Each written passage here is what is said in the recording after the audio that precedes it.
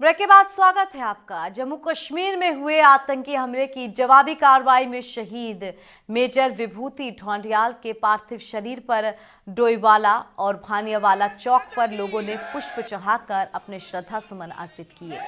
लोगों ने शहीद विभूति अमर रहे के नारे बुलंद किए। शहीद मेजर का पार्थिव शरीर अंतिम संस्कार के लिए हरिद्वार ले जाया गया। डोईवाला और भानियावाला चौक पर भारी संख्या में एकत्रित हुए लोगों ने शहीद को नमन किया। मेजर विभूति का राजकीय सम्मान के साथ हरिद्वार के खड़खड़ी शमशान घाट पर अंतिम संस्कार हुआ।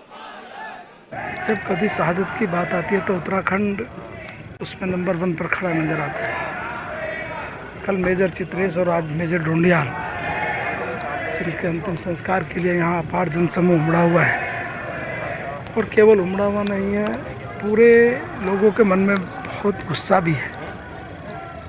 और जिस प्रकार की कायराना हरकत पाकिस्तान समर्थित आतंकवादी और पाकिस्तान के द्वारा की गई है, इससे जनता में बहुत आक्रोश है। संकट की घड़ी में पूरे 125 करोड़ देशवासी के अपने वीर सैनिकों के साथ में हैं।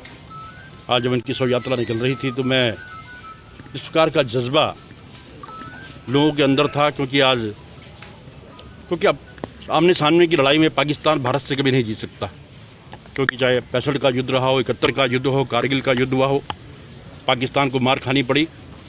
किसी प्रकार के प्रॉक्सी वार्स के द्वारा हमारे सैनिकों पर आक्रमण किया जा रहा है, लेकिन सेना ने मन बना लिया है। प्रधानमंत्री जी ने सेनाओं को खुली छूट दी है। इस समय भी नौशहरा में मुठभेड़ चल रही है और मैं इन वीर सैनिकों को नमन करता हूँ, प्रणाम करता हूँ। और बता दें आपको, ज़बरदस्त पुलवामा हमले के लिए पाकिस्तान के खिलाफ प्रदर्शन किया गया है। पाक की इस कायराना हरकत के बाद अब हर कोई पाकिस्तान से बदला लेना चाहता है। वहीं पाक से संबंधित नामों को लेकर जिन लोगों ने इंस्टीट्यूट खोले हैं, उनके नाम बदलने की मांग अब तेज हो गई है।